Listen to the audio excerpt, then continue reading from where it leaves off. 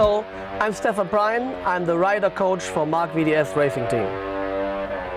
My job in the team is the rider coaching, the rider coach, to build up the confidence as much as possible with the riders, compare things on the track to other riders, but also in the winter time to do with people I know for a very long time, special trainings, physical, mentally, so, and more or less to be always there when the rider needs me and to compare the things in the meetings with the technical people. That's my job to find out the last tenth of a second. And the background is that I did it now for 30 years this year. I raced myself for quite a long time. Win one GP, was nearly world champion in the 1 to 5. Okay, it was 90, but still out of that uh, experience, I'm quite sure that I can get the best out of the rider because still I have the feeling what a rider feels on the bike. The best part of my job is that still I can use some of the things I did for myself for a long time in racing.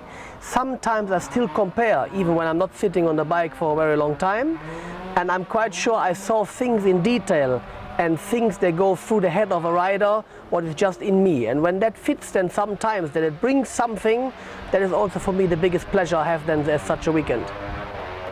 And the worst part of the job is the time schedule because it is it, with all the people, Moto 2, Moto 3 is a quite tough time schedule with all the meetings and more or less that is my hardest thing to stick exactly on the right time at the right place.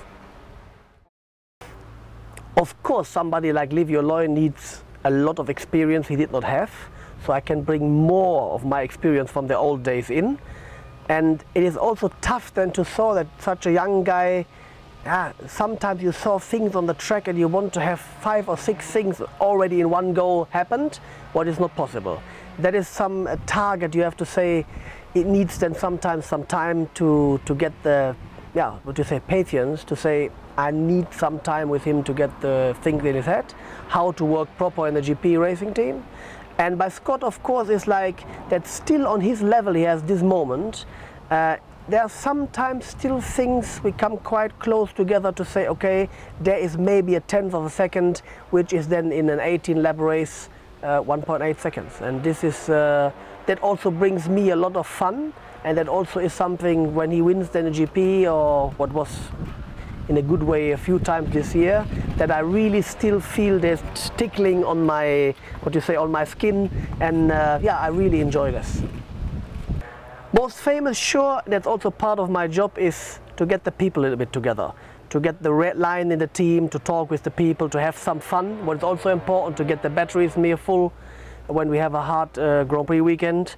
But also, of course, sometimes I lose the one or the other flight because of circumstances uh, that is simple, I'm too late.